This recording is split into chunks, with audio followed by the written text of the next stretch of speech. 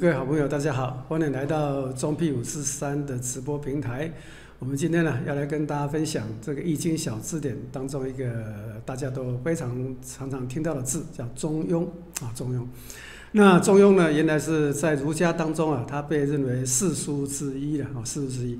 那“中庸”呢，哈，这个是儒家的经典之一了啊，儒家经典之一。那这个中庸呢，原来并不是独立的，原来它是放在《小代礼记》当中的第三十一、第三十一篇，或者是第三十一章。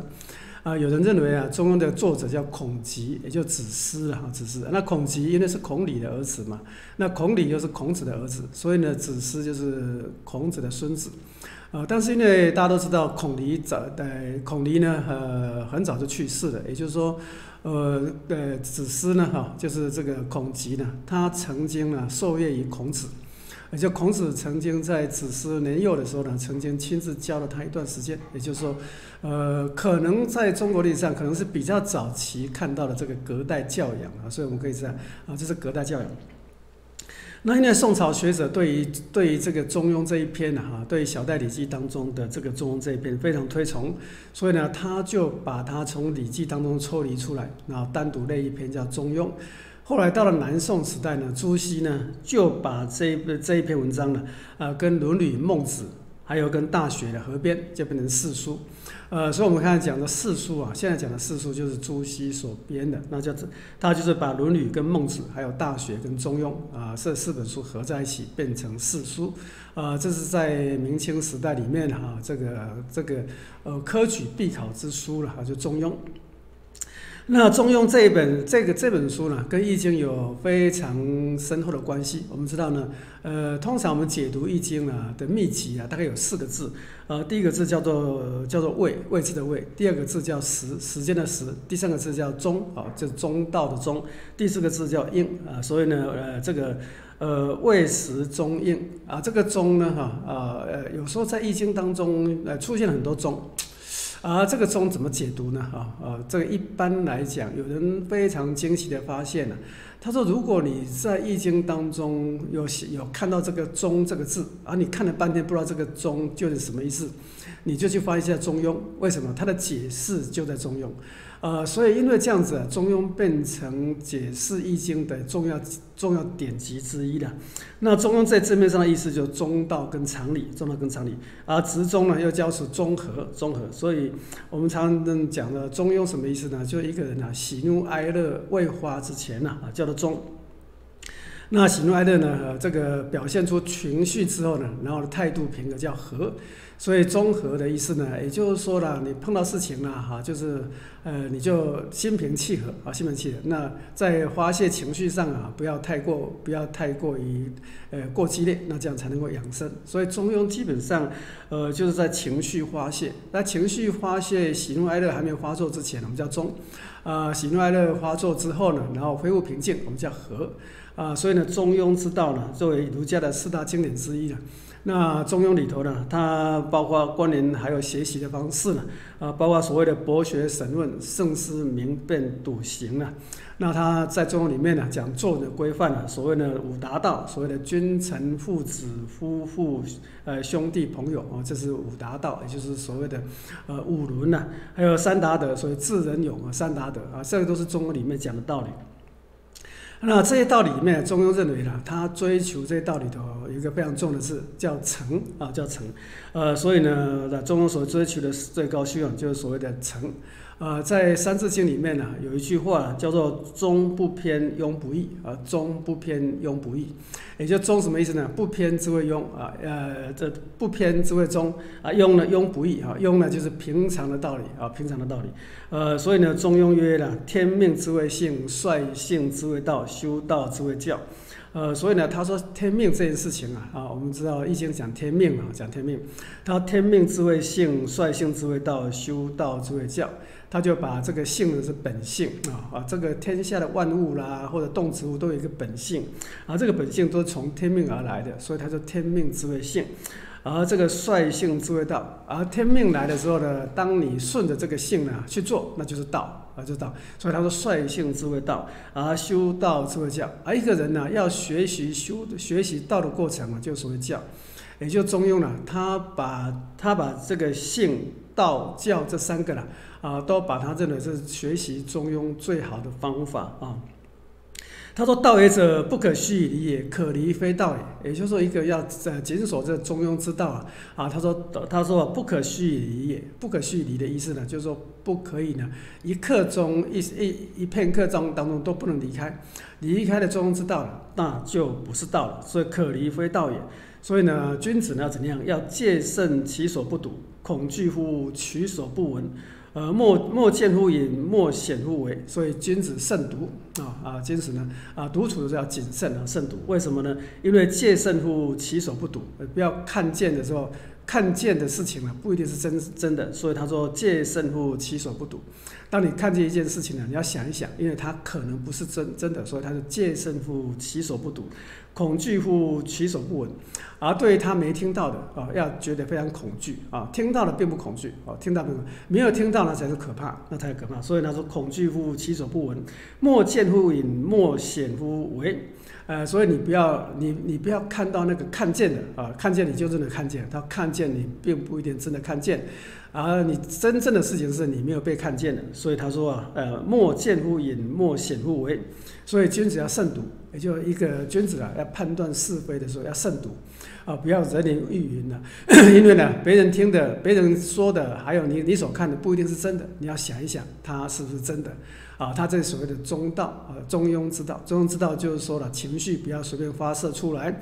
当你看到了、听到了啊，不要马上就做出反应，你要想一想，这是不是真的？在脑袋里面呢，打两圈、打三圈、打四圈、打五圈之后，那再讲出来，那这样讲的话就能够符合中庸之道。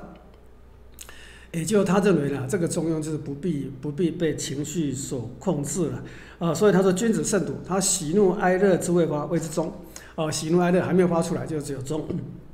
发而皆中呃谓之和。当你发，当你发而为发而皆中，也就是说，当你发出情绪的时候，这个情绪都能够达到你所想要达到目的，那这个呢，就叫做叫做和，叫和。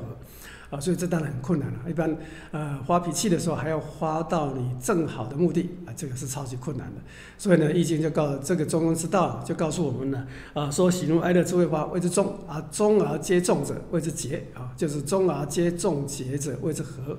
啊，那当然是前面那句话比较容易，后面那句话，啊，要达到，当你有情绪来的时候，啊，这个情绪一来的时候，你想要达到你的目的，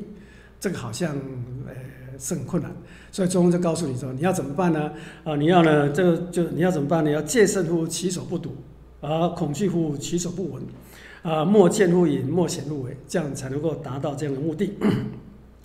呃，所以呢，在中庸里面，他讲了一句话，他仲尼耶，仲尼在孔子的啊，他仲尼耶，君子中庸，小人反中庸。啊，这个中庸有什么好处呢？他仲尼耶，孔子说啊，孔子说，呃，如果是做一个君子，都要符合中庸之道。那如果是不不符合中庸之道，都是小人呐，都是小人。啊，他说：“君子之中庸也，君子而时中；小人之中庸也，小人无忌惮也，无忌惮。”啊，为什么这样子？他说：“君子因为能够中庸，所以知道了长远的事情；小人呢，因为呢情绪随便发作出来啊，所以呢不怎么死的都不知道啊。所以呢是就是说小人反中庸，小人反中庸。所以呢中庸其次也，明显人久矣。呃，君子这个君子跟小人的概念跟现在概念不大一样。也就孔子通常啊，易经它是分成两个对立面嘛。啊，所以呢，君子跟小人，它是指两种不同的人呐，这样的，他不并不是像现在我们对小人呐，啊，有比较负面的观感觉。在孔子那个时代里面呢，他小人其实他只是君子的对立面而已，并没有负面的情绪的问题了。所以这里头也要特别跟大各位好朋友来分享，就是说，如果你在易经里面看到非常多君子曰，小人曰，啊，君子小人，你不要觉得说这小人好像骂人，他其实不是。但我们现在社会里头，小人是骂人，但是呢，呃，小人并不是骂人，哦，所以呢，在易在易经里面，我可以看到，呀，这个阳爻呢，一般人认为是君子，而小啊阴爻呢，一般人认为是小人，啊，它只是相对的概念，它并没有所谓的，呃，一个好恶或者是一个善恶的评价，并没有，在在这个经书里面并没有。呃，一般人谈到中庸了，总结说这个人很中庸啊，意思说这个马马虎虎了，马马虎，做人马马虎，不求上进，哎，不不求这个上进，啊，做事情只要糊里糊涂了哈，只要能够应付了事啊，这个人就是谨守中庸之道而且当人家骂他的时候，他都就不置可否，就完全是和稀泥的忘的方式，所以做事不不必太太过的，这叫中庸之道。那这种中庸之道，其实并不是孔子呃的所教我们的中庸之道啊，所中中庸之道。呃，所以一般我们呃在一般有些比较这个有些人士啊，认为说中庸是一个什么样的，就谁都不得罪啊，应付得过去就可以了啊，自己不做任何主张啊，只要随波逐流啦，就是所谓的中庸之道。但这个中庸之道跟孔子的中庸之道相差是非常非常非常远啊，相差非常非常远的。所以呢，在中庸主张里面啊，刚刚有提到天命之谓性啊，这个率性之谓道，修道之谓教。也就是了哈，你一个人人生下来了，要怎么样？要护，要呢每每个人天天生下来，他都必有使命。而一个人最重要是什么？完成天生所赋予的使命。如果每个人呢都能完成天生所赋予的使命，那你就算完成了一生当中的功业。他说植物也好，植物当他出生的时候也是一样，它有它有它的使命。当他使命完成的时候，他就自然而然的泄气。啊，所以我们可以看到，呃，所以呢，因为人是万物之灵啊，所以只有人会教嘛啊，其他动物都不能教，所以他说率性之谓道，修道之谓教啊，所以修道之谓教。啊，一般的都一般的在，如果不是人类的话，他最多只能教到做到呃天命之谓性。他甚至要做到率性智慧道就不容易了，就不容易。但这些人是作为一个最高等的的生物啊，所以他就能够呢天命智慧性率性智慧道，而且他修道智慧教，也就是所有的教育呢，都是为了教你如何学习中庸之道啊，这个意思啊，就是说啊，人世间的所有的教育啊，都是教你如何实行中庸之道，而这个中庸之道就是上天所赋予你的使命啊，上天所赋予你的使命。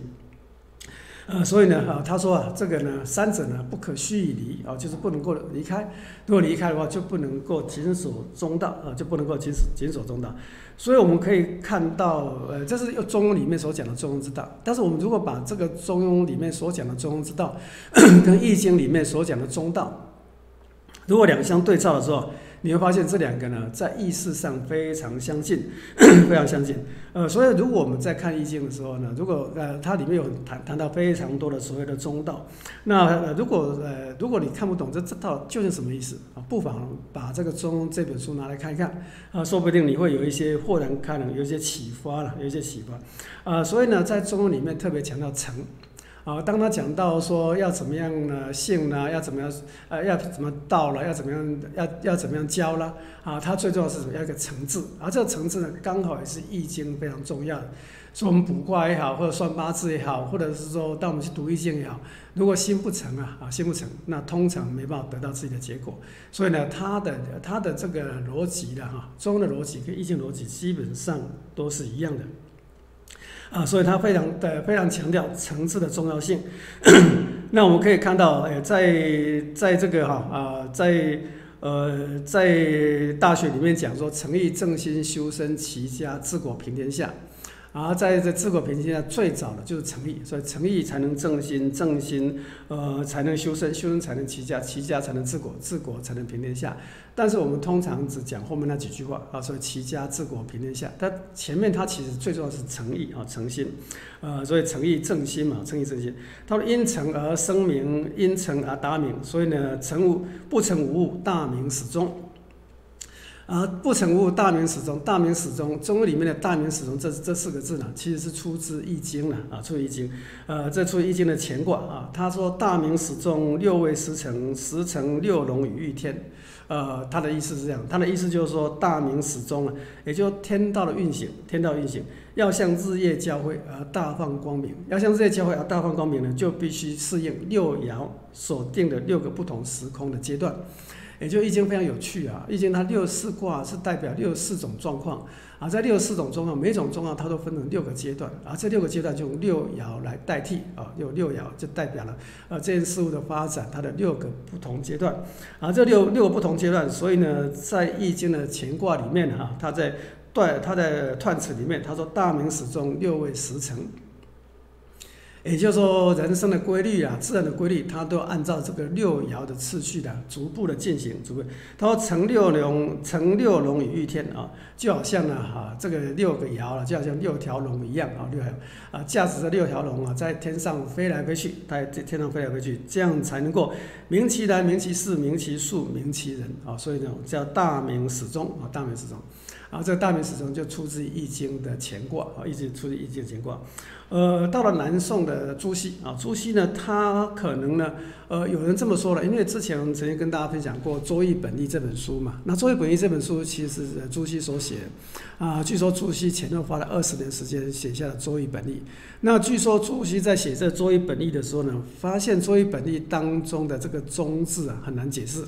啊，所以他就发现了这个《中庸》这这边这篇《礼记》小在《礼记》这一篇第三十一篇，这名为《中庸》啊。就是呢，《易经》的最好的读本，所以他就把《中庸》另外单独列出来，然后把《论语》《孟子》加上《中加大学》并列为四书了。所以他这是据说是这样子，就是说，呃，朱熹大家都知道他是一个风水大师嘛，也是个易经大师。呃，他为了要写《周易本例》，所以他把《中庸》单独列出来，啊，单独列出来。那这个在单独列出来里面呢，他又重新编定，所以把这一章呢，再把《中庸》又分成三三章。啊，所以《中庸》里面有三十三个章节，三十三章。那根据中根据一般的分析啊，说《中庸》的三十三章节里头啊，包括三个部分。第一个部分呢，讲说道出于天啊，道出于天，说到了本体跟天的本体其实不可违背啊，不可违背啊。所以呢，这个中庸之道了，就是根据天道而行，这第一个重点。那第二个重点呢，他说了哈，这个中道最重要是怎样？最重要是要审查养，要呃存养审，存养审查啊。就重在戒慎恐惧，戒慎恐惧，所以要慎独啊，慎独。所以这是中第二个呃第二个重点。第三个重点，他说重天地养育万物，他要神功呃圣圣神功化自己啊，最高的境界，也就是中最高境界要怎样呢？要像天，要像空气一样无臭无味。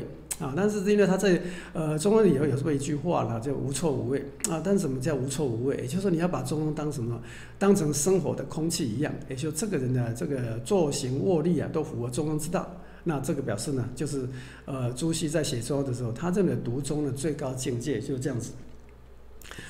那中庸这个作者呢，啊，我们一般来讲是孔集的，啊，但是因为我们知道《易经》系辞啊是孔子写的。呃，所以《易经》也是孔子编的，所以就产生人家就产生一个问困惑：为什么《易经》的呃《易经》的这个一些写法跟《中庸》那么像啊？《中庸》既然是孔集所写的，那有没有可能呢？中呃呃这个《易经》的实义呢是孔集所完成的啊？有人就提出这样这样的疑问了，因为只有你自己写的书啊，你才有办法呃写的两两两者之间呢才会有那么那么啊那么百分之百吻合。而中庸跟易经的这个谈的道理啊，呃，居然能够百分之百吻合，所以这里头人家就想到一件事情了，啊，说这个周易系辞啊，可能不是孔子独立完成的，哦，可能是的这个呃孔集所作。哦，但这里有很多种说法。那第一种说法就是《中庸》的作者，那司马迁的说法。呃，司马迁认为《中庸》是出自于孔集，也就子思啊，那这子思所作。那第二种说法是一些司马迁之外的其他汉儒。啊，其他汉儒他说啊，他说《中庸》啊不是孔集所作的，孔《中庸》是谁写的？是孔子所写的，只不过是因为孔子曾经教过孔集，是孔集做笔记。然后再把再把这本再把它列入《礼记》小代《礼记》里面，所以中庸真正的作者应该是孔子啊。当然，这这这里头呢牵涉到《易经》的系辞究竟是谁写的嘛？这第二种说法。那第三种说法呢？有人认为是孟子所写的，为什么呢？因为在在因为在在他们发现呢，他们发现。呃，孟子呢在引述孔子言论呢，因为孟子这本书里面有非常多谈到中庸，但是孟子在引引述中庸的时候，并没有说子曰。但是如果我们去读孟子的时候，发现孟子有个习惯啊，孟子因为他言必称孔子曰嘛，哈啊，所以呢他就觉得说，如果呃如果中庸是孟子所写的，那孟子为什么在其他引用孔子言论里头都会写个子曰呢？啊，唯独引用中庸的时候却不说子曰。他只有个道理，啊，《中庸》不是孔子所写的，也不是子思所写的，而是呢，在孟子之后，或者是跟孟子同时所写的，啊，所以当然这也就是所谓一般的人家就会觉得，哎，《中庸》到底是到底是到底是谁写的了？那孔吉因为这个人呢，啊，在儒家学说里头非常重要，一般人把他叫四呃数圣啊，数圣，呃，孔孟还有这个颜渊还有子思嘛，就是所谓的四圣啊，因为他曾经受业于曾子啊，受业于曾子，那也那受业于曾子，但是因为他另外还有一本书叫《子思子》啊，就是根据《史记》的记载，啊，这个子是真正的作品叫《子思子》，但是《子思子》这本书呢已经没有了。已经没有，呃，所以呢，有人认为呢，曾子呢受业于子思啊，受业子思。那也有人认为是曾子可能受业子思，也可能受业子思的徒弟。也就是说，曾曾子跟子思呢，他是同一个学派，啊，是一个同一个学派。呃，所以呢，荀子的时候呢，啊，荀子呢，他因为荀子非常看不起孟子嘛，哈，啊，之前曾经跟大家分享，啊，他是自认为自己他才是孔子的呃的嫡系弟子，孟子不算。啊，因为呢，他就把，因为大家都说孟子传自子思嘛，所以连带的呃这个这个荀子也不太喜欢子思，呃，所以他就说，呃，他就说子思跟孟子这两个人的学说啊，真的是，他说辟为啊无类啊，隐诱啊无说，辟曰啊无解，呃，什么意思呢？也就是说，孔子啊，荀子跟孟子的学说啊，荀子们这种呃认为这样，他他的理论呢非常冷僻，非常冷僻。啊，又违背常理，又违背常理，而且并不同意啊。例如说性善说，他完全违背常理。他人的常理应该是性恶说了啊，他是违背常理啊。所以他说啊，这个就是所谓的呃辟为啊无类啊，辟为无类就是违背常理啊，违背常理，而且呢思想不同意。他说他说幽呃呃这个第二句话讲幽隐而无说，幽隐而无说就是说他讲的话讲的话哦，那非常非常深奥啊，非常深奥，而且呢避讳又避讳啊，这个讳之再讳。呃，以至于人呢，完全不知道他在讲什么东西啊，完全不不叫做呢，呃，幽隐呢无说。他说必曰呃无解啊，必曰无解必曰无解，意思就是说孟子跟荀子的理论呢，形成一个回路，而这个回路是什么回路？是一个闭锁的回路，完全没有出路。就是其实荀子因为不太喜欢喜欢不大喜欢孟子了啊，因为荀子的关系，所以我们就把荀子呃就把子思跟孟子这个学派叫思孟学派。哦，思孟学派，所以我们可以看到，这个孟子的学派，他之所以被称为思孟学派，其实是他的死对头了。荀子给他的封号啊，荀子对思孟学派的这个学说了啊，他说他有三大缺点。第一个缺点呢，就是说他的理论非常冷僻啊，而且又不统一，而且又不统一，呃，那又违背常理。第二个呢，他的缺点是他的他的解释呢非常幽深，非常隐约啊，不明显，不明显，所以完全听不出他究竟在讲什么。呃，第三个呢，他的理论呢，哈，感觉上是一个闭锁无解的循环，也就是一直在那绕圈子，完全没有解答，完全没有闭锁循环，这是他，这是荀子认为的这个这个思孟学派的一个缺点哈。但是因为后来的董仲舒独尊儒术之后呢，啊，把师孟学派提高非常多的地位，以至于到了后世啊，这个荀子这些学派把它变成小道啊，孟子这个学派把它变成大道。那我们知道说，子思生长的时期啊，大概是战国时代的后期，或者或者是中期，或者是末期，啊，因为这个时代里头呢，大概是战国七雄开始争霸的年代，所以呢，战国七雄开始争霸年代，也就是这个时代里面呢，这个时代里面，就大家呢，大家都是呃脾气都非常不好。呃，动不动就我打你，你你打我，所以有人认为啦，因为子思在这个环境之下，所以他就写写一个中庸，也就是说大家不要打来打去啊，凡事依理而行啊，依理而行啊，所以呢，我们可以看到了这个呃，这个只是写这个中庸之道，写在中这这段文章呢，也有它的历史背景，也有它历史背景，也就是说，他是在战国的中期或晚期时代。啊，他跟呢这个诸侯各国了彼此打来打去啊啊，彼此打来打去，完全不讲是非，不讲争议，所以他就想说用中庸之道啊来代替这个孔孟学说，呃孔子的学说，然后呢叫大家不要打来打去，不要打来打去，呃，所以呢后来有一种说法，有一种说法，呃，有人说啊就是说就是子思自己讲，有人问子思啊，又问子思，呃，他说你为什么要写中庸呢？啊，你为什么要写写中庸呢？那子思他他讲哈，子思他他讲。呃，就是因为宋国大夫了啊，当时宋国有个大夫，这个大夫名叫做岳硕。呃，岳硕呢，他他跟他跟他跟这个子思谈论学问之道啊，彼此谈得非常不投机，呃，非常不投机。所以呢，呃，这个岳硕这个人呢，听听这子思讲的话就觉得非常不投机，所以他就想着，那我会给他。呃，我我会会要会要呃给他找个麻烦不可。所以有一天呢，这个叶硕就找了一批人呢，去找子思的麻烦，啊，去找子嘛，他们这些人呢就围攻子思，呃，所以子思呢就被围困在这个宋国的某个地方。啊，大家都知道孔子是宋国人嘛，哈，啊，被围困在某个地方，啊，这件事情被宋国的国君知道了，啊，人家跑去跟跟这个宋国国君讲说，说你的大臣呢名叫岳硕，岳硕呢居然派了一一一帮流氓混混呐。啊，去去去包围的子思啊，把子思呢围困在地方，子思已经出不来了，出不来了，那怎么办？啊，所以呢，宋国国君听了之后呢，就觉得岂有此理，所以亲自带兵呢去救，去救这个子思了啊，去救去救这个子思，救了子思之后呢，救了子思之后呢，然后子思非常感慨啊，子思非常感慨啊，然后他说了啊，他说他说他说文王困于有里，做周易啊，文王呢被关在周。被被关在商朝的监的大的监牢里面，所以写的《桌义》。他说：“主君呢，趋于陈蔡啊，做春秋。”他的我的祖先呢，主君的我的祖先呢，孔子。呃，孔子呢，他被围困在陈蔡之间呢，所以他就写的《春秋》。那那我无困于宋，那我居然在宋国里，居然有为了一个，居然为了一个叫岳硕的大夫啊，岳硕大夫居然一言不合了啊，没人说不过我，居然派了一堆小人来围攻我，而且把我困在这里。他说呢，啊，无困于宋，岂能没有书？所以呢，子思这个人呢，表示他志气很高了啊。他说了，他说这个这个周文王啊，被关在游里里面，所以他就写了《周易》。我的祖先呢，我的我的我的爷爷啊，这孔子啊，困于存蔡，所以就写了《春秋》。那我现在呢，被围困在宋国，呃，围困在宋国，难道我可以没有没有书吗？